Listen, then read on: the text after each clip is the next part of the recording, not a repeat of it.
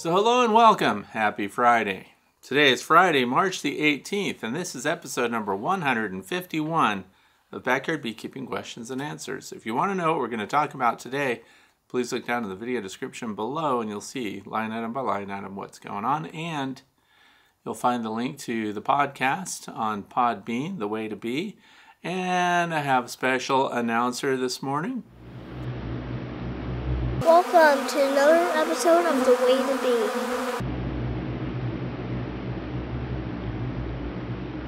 So there's that. That's my grandson right there. Wanted to make sure and let you know what's going on. So in the opening sequences, we had the bees going to dry pollen substitute. And a lot of people wanted to know what the pollen sub is that they're going after, and it's Ultra Bee, dry pollen sub for Mann Lake. So you can find it, you can Google it.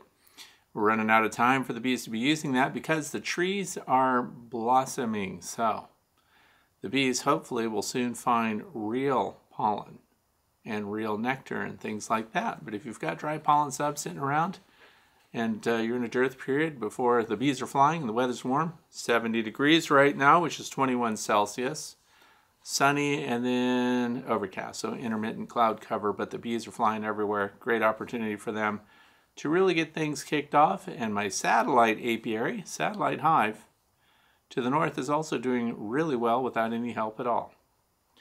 So what else is going on? Uh, let's get into, oh, before we do anything else, let's see. Nope, I think that's it. So the very first question comes from Corey Scanlon. Uh, I'm looking to start backyard beekeeping and interested in the Slovenian AZ hive setup. I like the appeal of the hive design and the ability to eventually put them in a small bee house at some point. And have you tested any of these designs or provide any information about pros and cons if available?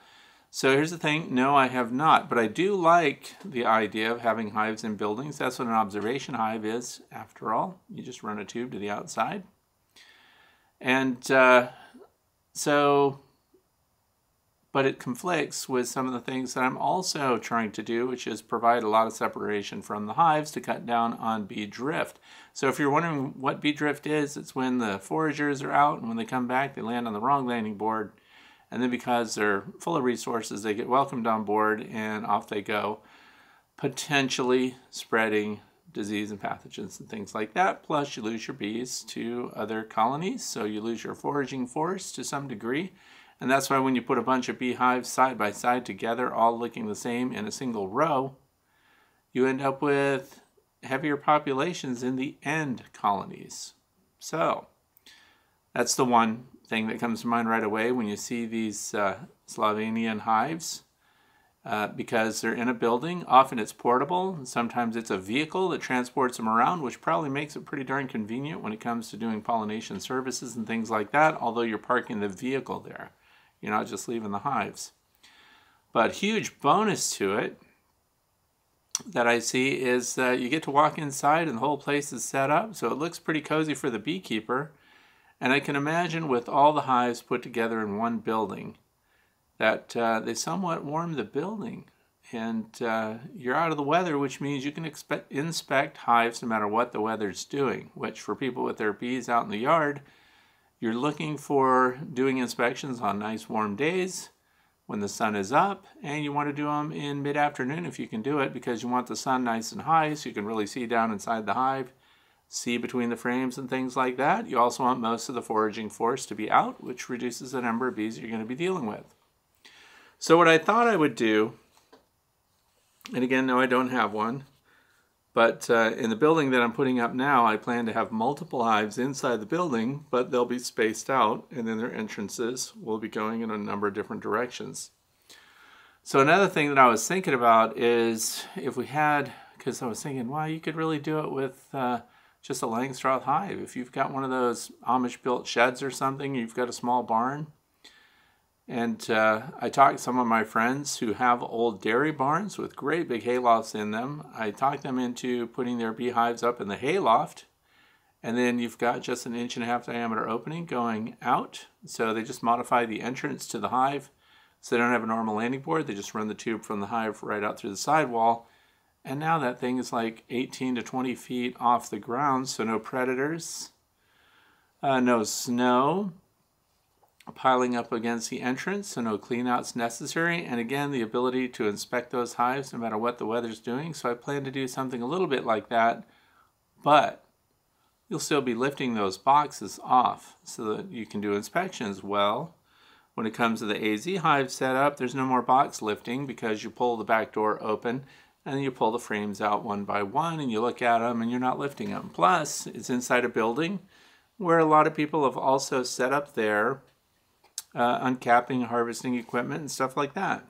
So it's pretty cool. And normally what I do is I wait until the very end of my Q&A to give a shout out to another website. Well, today I'm not going to wait till the end. That's right, I'm going to give a shout out right now. Because one of the things I wanted to do with the shout outs is either encourage a new young beekeeper that's trying to get going and could use some words of encouragement and support from other beekeepers around the world, or someone who's got a response or a video that very well details something that matches up with a question. So this matches up with a question. That's why we're doing it right now. The YouTube channel is called Drebbieville Hives, D R E B B I E V I L L E Hives. And that uh, YouTube channel only has 555 subs, but what they do have is a very good uh, demonstration of an American version of these uh, Slovenian hives, AZ hive setup, and they sell them, by the way. So I looked in on them, I looked in on their Facebook page. I haven't seen any posts from them since 2021. Not that long ago, but I'd like to see something more current. But uh, that's the shout out today to go and check that out. And if you want to see at least what the hives look like, I think he did a very good job of explaining it and showing you what's going on.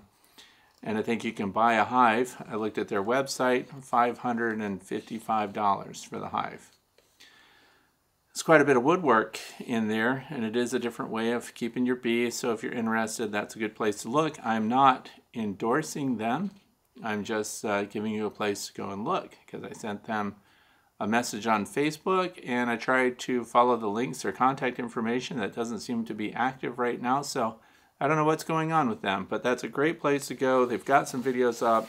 For those of you who are wondering what it is, there are, I'm sure, several other websites, but this one we can drop in. That's my shout out for today to check them out.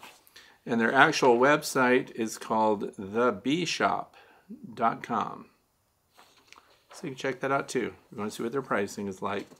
But again, I've never used them, don't have any interaction with them. Uh, like I said, I sent messages, but that was today. So it was last minute stuff. Next question is number two. Rachel Stone. In Western Australia, we're not allowed to leave honey frames out for the bees to clean up before we stack them away for winter. I have a deep brood box plus medium for bees on all my hives now as we can have a summer dearth as well as a winter one. So taking your advice here already. So I've just got my flow supers to remove and was wondering what are your thoughts?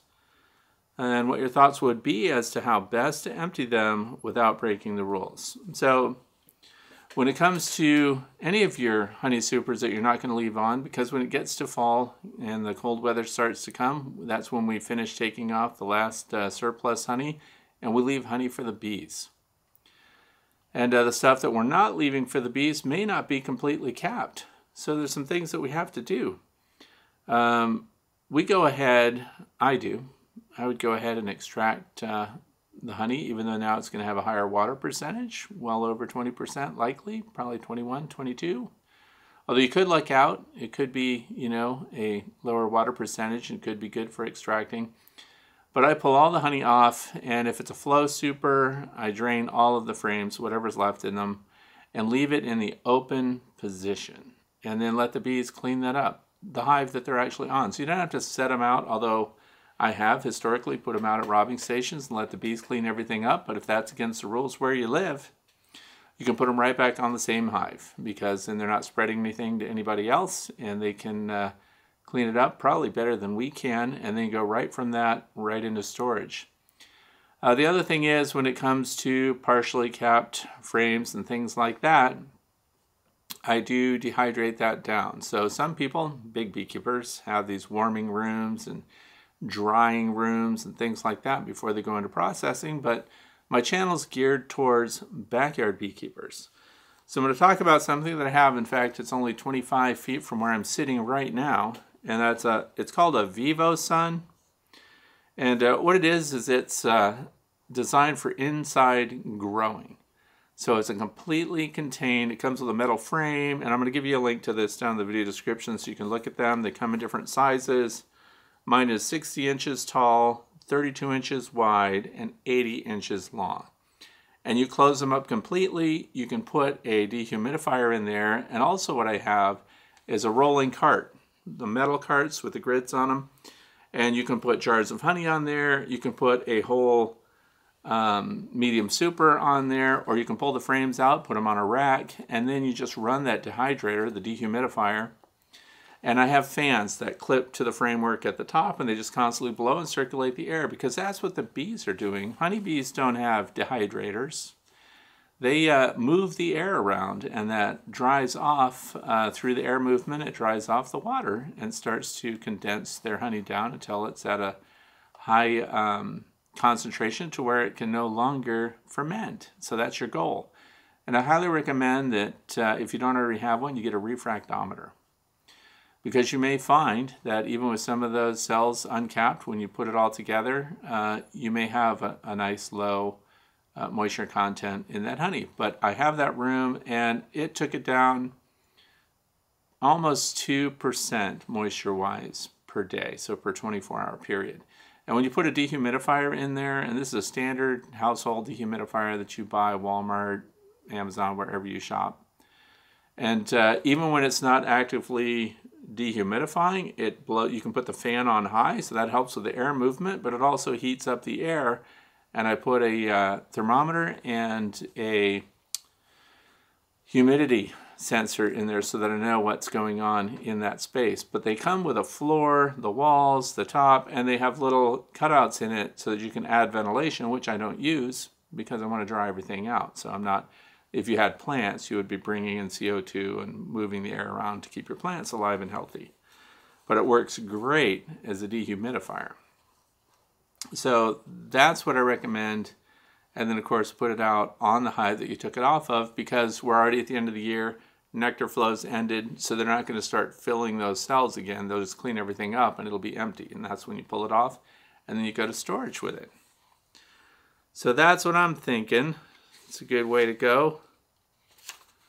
And having a dehumidifier like that, it works too when you, if you've drawn off honey, you already put it into jars, for example, but uh, they seem a little high to you. In fact, if you're going to put uh, honey jars in there that are high anyway, and you're going to run that system in that space. And then you can go ahead and put your other jars in there too and just pull the lids off because dust doesn't blow around because it's a completely enclosed VivoSun system. So people grow plants in there year round. Question number three, moving on. Harvey Schumann, West Long Branch, New Jersey. And uh, for those of you speaking of New Jersey, I posted a uh, interview with Frank Mortimer about his book, Beekeepers, Bee People, and the Bugs They Love. So if you haven't seen that, you might check that out. He said that New Jersey is the most populated, most densely populated state. Pretty interesting. But anyway, I'm on a rooftop. I'm a rooftop beekeeper and have been using the Hive Alive fondant as a supplement this winter. In fact, I'm beginning my third round of patties. I started in the middle of January and put my second round on middle of February, and in about 10 days they devoured all of the fondant and then put on the third round last Monday. Performing swarm control, I put my honey supers on usually the first or second week of April. And uh, instead of liquid feed, do you think I can leave the fondant on until the supers are on? Of course, once uh, the honey supers are on, I will pull off the fondant because we don't want that in your honey super anyway. I'm going to pull one of these fondant pieces up. This is what we're talking about. A lot of people using it this year. Hive Alive fondant. In fact, uh, side note, yesterday I went around to all the different hives to see how much fondant they used. And none of them finished my Hive Alive fondant. None of them, not one colony. And they're all flying, they're all doing great. And the one that consumed the most ate a space about this size, you know. So not even half of it. So I, you know, my bees didn't take it, uh, but they're all alive, they're all doing well, but I can't totally credit that to the Hive Alive fondant because they didn't really consume the fondant. Some of them only ate a little bit past uh, the cutaway and that was it. So, but here, uh, you put them out and could you leave them on? Sure, you can leave them on, let the bees use them up. Uh, we did an interview with Dara Scott, who uh, invented Hive Alive, and he's the, he's the owner of that company. What you can do at the end of the year, if you want the syrup available, is you can take those packets out and you can rinse them with warm water and just create a syrup with it. So you can pull those packs out, make a syrup with the fondant that's left over, and if it's too watery, then you can add a little sugar to that, add sucrose, and it just becomes a good boost for them in the spring. Or, as mentioned, you can just leave it on as a pack. So choice is yours. Do it either way. And of course, don't leave, uh, don't be feeding syrup, and don't be, uh, as said here, don't leave your fondant on when you're going to put your honey supers on that are going to be used for human consumption. We want that to come from plants. We want that to come from flowers. The good stuff. Next thing comes from T Video. This is question number four. Several different colored bees there. Looks like that swarm consisted of a mix of genetics. Is that odd? No, it's not odd. And here's the thing, and I'm glad that question was asked because when you're looking at your beehive, you may think, well, these are drifters. Look, some of these bees are really blonde looking and others look really dark, and these are the workers inside the hive. How does that happen? Keep in mind that when the virgin queen flies out and she mates, she mates with a bunch of different drones. So you end up with mixed genetics, and you can end up with worker bees that look very different from one another. Lots of studies and observations have been done about that too, and uh, they do identify other workers with their own genetics, and they tend to cluster together and work together and things like that. It's pretty interesting stuff. But yeah, that they can be from the same queen. It just means they have different fathers, different drones, and uh, so they can physically appear different. Now they could be a result of drifting, but you will always have a whole bunch of half sisters inside your hive. So pretty interesting stuff. Yep, that's why you see the differences. Now drones, you see some ridiculous looking drones. They're all different colors because drones just go anywhere they want. They don't even, you know, they don't follow that rule. So they actually could be from different colonies. But when it comes to the workers, it's perfectly normal to see a bunch of different uh, colors and traits and things like that because their genetics are different. Question number five from Bill Bird. I'm so new to the game that I'm only now getting ready to receive my first order of bees. But doesn't your video show the hazard of having an improperly engineered excluder? Weren't the holes simply made too small? Does this really support the notion of not using excluders at all? I mean, a drunk carpenter can make every door in a house so narrow that one no one could pass through. Just asking. And this is because many years ago, I did queen excluder tests. And uh, what I did was, and the reason I'm going to mention the method is because this is a great thing for you to do in your own backyard. And uh, what I like to do is when I come up with a practical backyard beekeeping test that is informative, it's also great for grandkids and your own kids and anybody that has a curious mind that wants to come up with a method to answer a question you might have. How many bees aren't making it through your queen excluder. And then we know, as mentioned in this question, that's a plastic queen excluder, and there are metal queen excluders. Well, it's easy to take out calipers and measure the open space between them, but the design, of course, is to make sure that queen bees don't get through the excluder, but the workers can. So the question that came to me was, can workers really get through it? And if they can, do all workers get through it, or do some of them find themselves left out? So here's the test. So if you've got a medium super, just a medium box, you can set that out on a table. In fact, I highly recommend you put two of them out there or however, many queen excluder designs you have.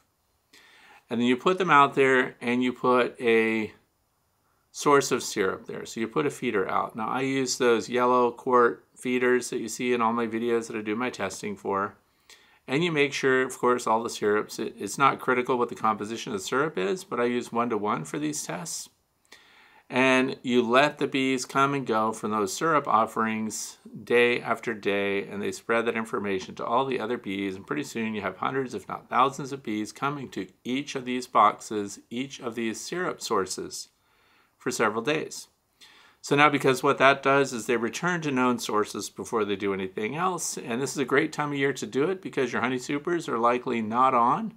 So you could do this experiment. And when you do it, write your comments down below this video because it's very interesting and I think you're going to be surprised. Once the bees are going regularly, of course, you get out there before sunrise, before the foragers are out and trying to get the syrup, and you put your queen excluders on there. What's a queen excluder look like? This is a queen excluder, one of the plastic ones. Oh man, thought I had a whole bunch of them. This is a type of queen excluder, a metal one. This is another metal one over here. My favorite one, by the way, if I were putting a queen excluder on, this is a really well-made queen excluder. This is a fantastic experiment to do. So put a different style queen excluder on each of those medium supers. Now get out there and watch the bees come and see the frustrated foragers at the entrance, at the queen excluder that can't get down there to the syrup. Bumblebees, of course, can't get in and things like that. But it's very informative. You're going to see that a large percentage of the bees struggle and struggle and struggle and can't get through it. So even on the very best day, even with bees able to get through, when they have to squeeze their bodies through queen excluders, this should help inform you regarding what kind of queen excluder you want to use. Some of the plastic ones have sharp edges on them, and there's wear and tear physically on the beads as they push through the queen excluder. And uh, so, that's one of the reasons I ended up not using queen excluders. And uh, you can do these tests yourself. So it's not just Fred who made something up that isn't real, that didn't happen, and probably that queen excluder was made bad. Test it for yourself. Very easy to do. And I think you're going to be very surprised. Question number six comes from Michael Hall. Let's see, you mentioned Beekeeping Hive app. Please, have you done anything regarding a video on the app? And if you yourself use an app, please would you demonstrate what you use it for? And so this is regarding beekeeping apps, which is interesting because guess what happened? I do. I use two apps that I'm testing just for fun. One is Bee Scanning, which is the app that uh, helps you identify. Now it identifies brood disease as well, but it's supposed to show you when there are phoretic mites. Those are mites that are not in pupa cells, and they're out on the bodies of the bees, uh, which actually does a pretty good job of showing that. And it can help you identify a colony that has an infestation of varroa destructor mites and requires treatment right away. Although my discussion has always been that if you don't see any mites on the app, which you use your cell phone for, uh, it doesn't mean that you should consider it clear. So that might be one that you do a sugar roll or you do a uh, alcohol wash or a soap wash, whichever you prefer, and then to verify that your mite numbers are low. But if you find a lot of mites with the app, because then you can zoom in and, and see them right there, uh, then you know that that's a colony that may require treatment and uh, so on. So the bee scanning app is one that I've done and it's in my horizontal, the long Langstroth hive sequences. There's a web page on fredsfinefowl.com uh, which has that demonstration. It has all my horizontal hive videos put together on one page so you can see that. But another one that I started using last year was a way to keep records for beekeeping and it was really interesting and it seemed progressive and they were doing good stuff and it was called Beekeep Pal. And then the weirdest thing happened. I go to find it on my phone uh, because it was an app on my phone. It was only good for Android. And uh, not there. Not only that, all my data is not there. Not only that, I paid my $96 for the year. So now I'm a little concerned about the company, and I went to their Facebook page, BeeKeepPal, and they have the Facebook page is still up and running, but uh, there have been no entries on that page since 2021. And uh, I went to the main website and I logged in there, and I could see that they got my money, $96 for the year, and uh, none of my data is there. So something's going on with them. So if you know what's going on with BeeKeepPal, uh, share it with me down in the comments section. So here's the other thing I can't share with Michael here what my preferred um, inventory system is, Hive inspection system is when it comes to a digital app. I will say that uh, it saves me a lot of time because if you're in your bee suit or you're wearing a jacket or a shirt with nice pockets, uh, you can carry your phone with you all the time. And when you're looking at a hive, the way this app worked is you, you photograph the hive in its current condition and configuration, and then you enter your information, the queen and everything else. So you can keep track of your stuff very easily unless all your data goes away, as mine did. So that's a little bit frustrating. It's weird. I mean, it disappeared, just disappeared from my phone. And uh, I could find nothing else except for the fact that I still had a current account with them and uh, that I had paid my dues. And uh, the next payment due date was March. Well, I canceled so because I can't get any information from them. So what I'm going to do is open this up for discussion down in the comment section below this video. If you do use a phone app for your hive inspections and for inventorying your equipment or um, you know, cataloging how much honey you got or when you feed or when you treat and all of these things. Those are all valuable bits of information to have at your fingertips. And I did like the BeeKeepPal. They sent you an email uh, when you're at the third week uh, when you haven't reported something on a specific hive. So again, really good for backyard beekeepers. Probably super annoying if you're a commercial beekeeper. Uh, because there are just so many hives, you don't need to be notified when each individual hive requires a look-see. So I've lost my recommended BeeKeepPal. I'm a little bit embarrassed that I even recommended it in the first place. If they've quit on us, I can find no information. So if you have a favorite one, let me know what it is because I'd like to check it out myself now because now I find myself looking for it. What are the alternatives though, old school people?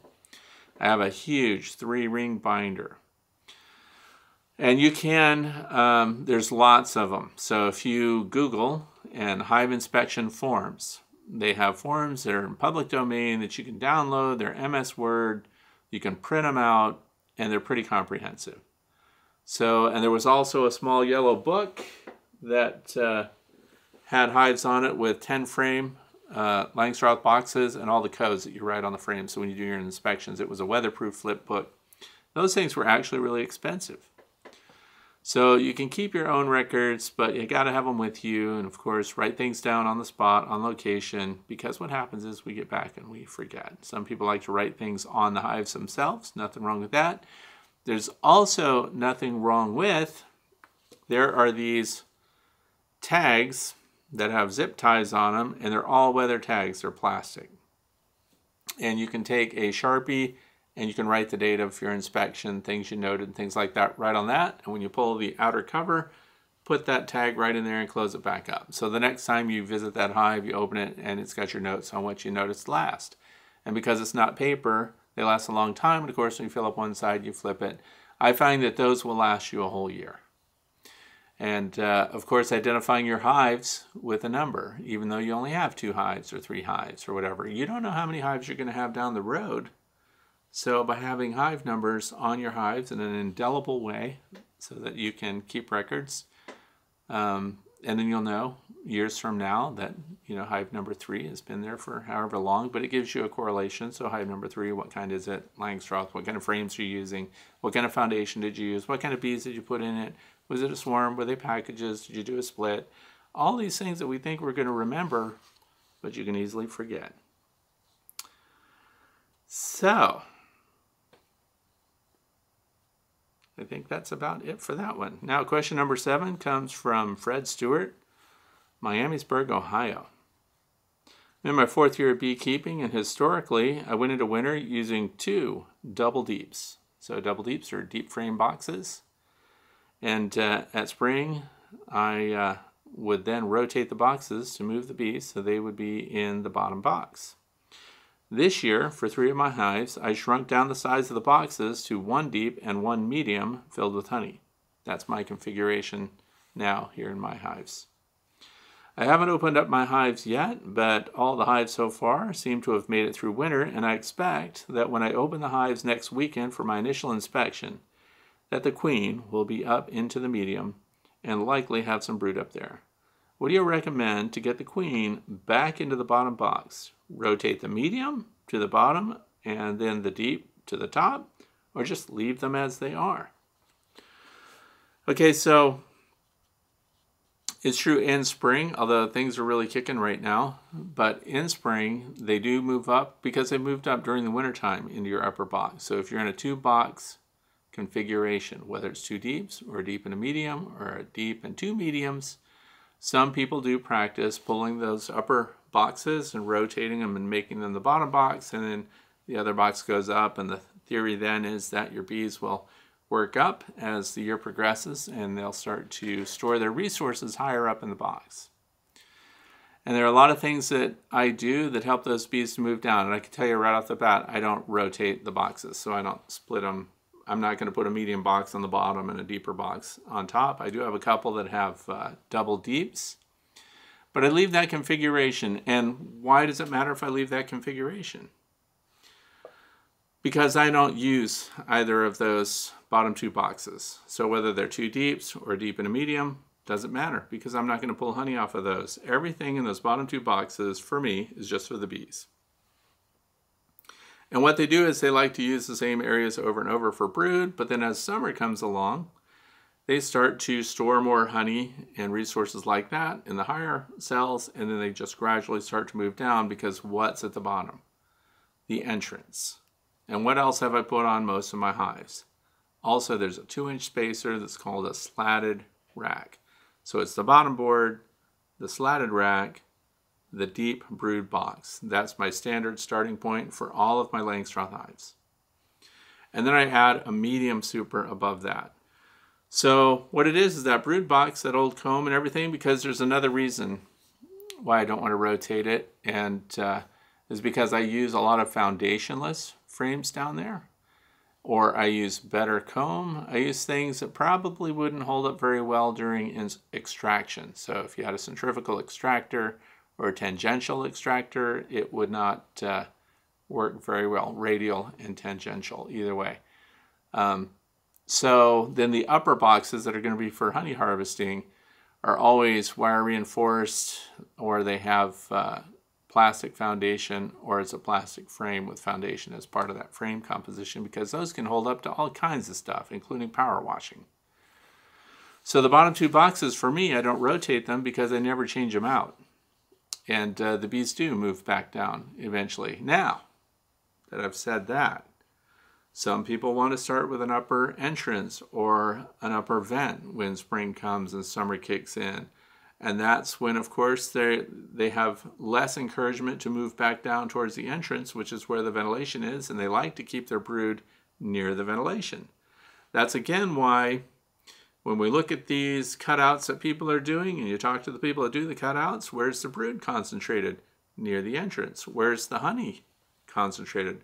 Farthest from the entrance.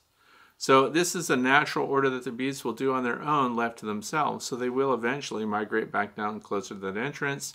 And they use the frames fuller all the way to the bottom if there's a slatted rack down there, which creates more space. And then again, the entrance is below the slatted rack. So that draws them down closer to that too. So that's my configuration. Single entrance on the bottom board, no upper vent, no upper entrance. It's also why when they set up that first load of honey up there that generally fills that medium super, um, that's also why above that I don't have a queen excluder before I put on my honey supers because the queen very rarely goes across capped honey in order to start laying in cells up there unless that bottom box is chock-a-block full and they're near honey bound or something like that. But once they have that brood pattern set up, that's it. And Dr. Seeley even suggests that we don't rotate these boxes because part of your brood will arch up into that second box. And so either way, you're splitting your brood up too. So I leave them.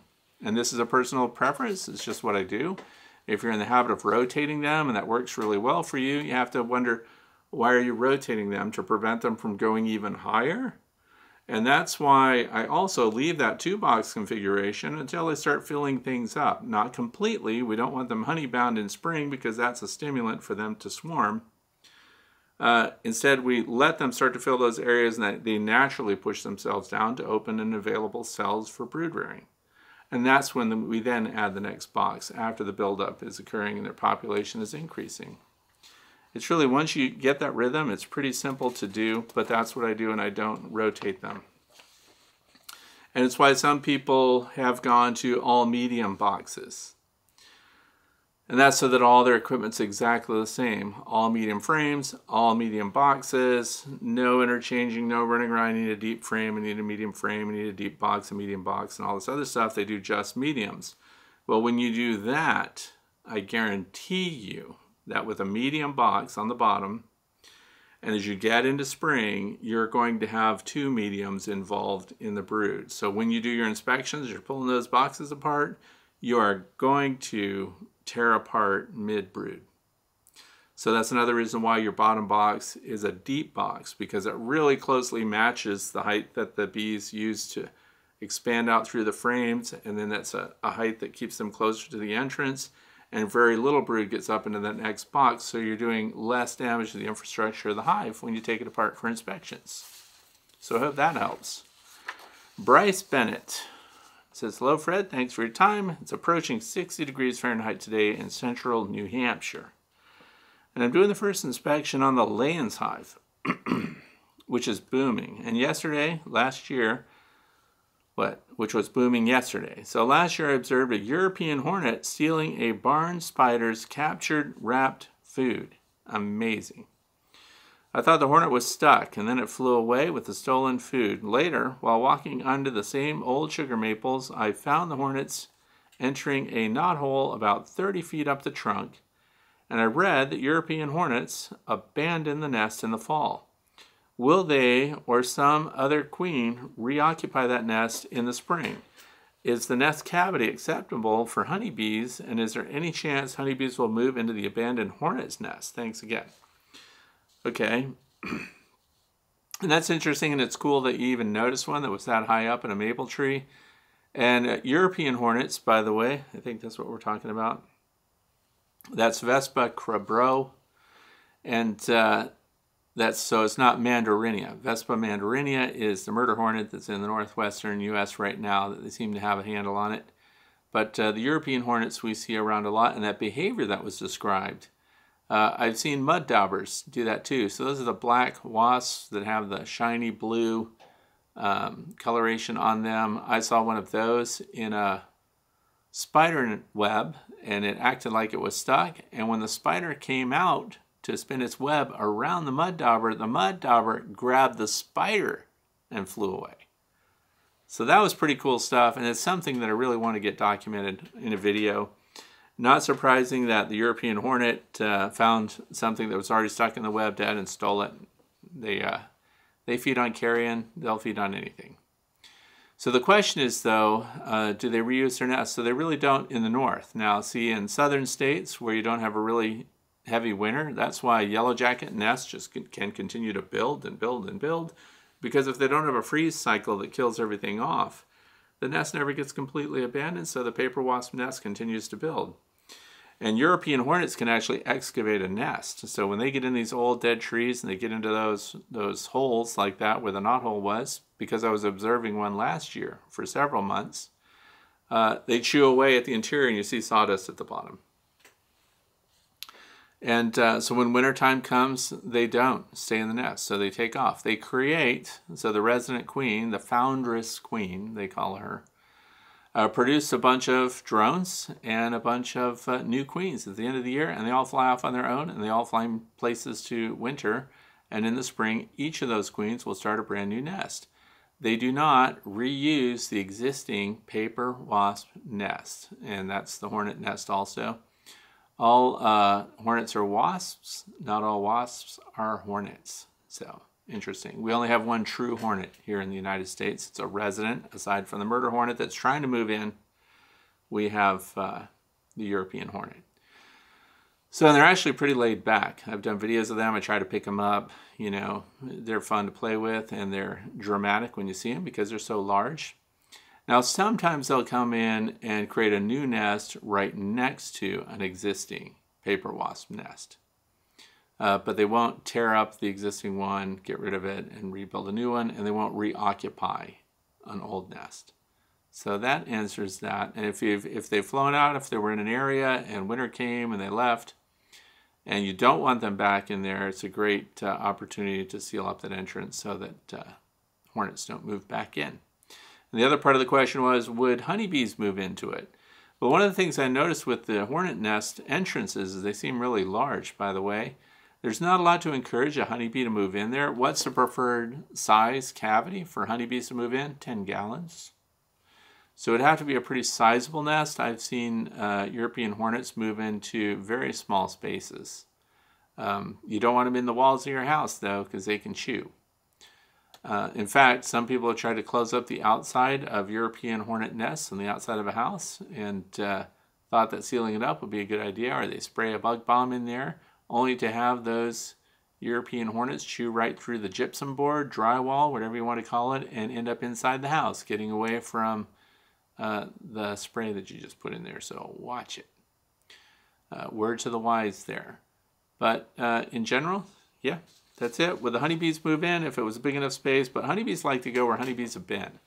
So there's no wax. You remember their, their uh, nest is made out of cellulose. That's why you see them chewing on old fence posts and old untreated barns and things like that. You'll see them in the spring along with other wasps, and they're chewing away on the side of the barn and that's because they're getting the paper, they're getting the wood pulp, and they're going back and they're making their paper nest with it, which requires constant maintenance if it's at all exposed. Like bald-faced hornets build those out on tree limbs, and you'll see those going up. But I've noticed that the uh, European hornets like to build in cavities. So pretty interesting stuff. So I hope I answered that question, and guess what? That's the last question of the day for now. So, an interesting thing that's coming up, there will be more interviews. So, thank you for those of you who have written me and said how much you're appreciating the Interviews with Expert series. Uh, we have another one going up tomorrow, and I have a, a, whole queue of really interesting people to talk to about beekeeping and bee related things. So, I hope you'll tune in for those, and I thank you for being here today. I hope you got something out of it, and I hope that the weather's cooperating. For those of you who are down in Australia, uh, I know that you've dealt with some heavy rain and things like that, uh, really unprecedented levels of rain that have wiped out entire apiaries. And uh, we really hope that you get a break down there soon and that you can help each other out. So thanks for being here today and for watching, and I hope you have a fantastic weekend. Thanks again.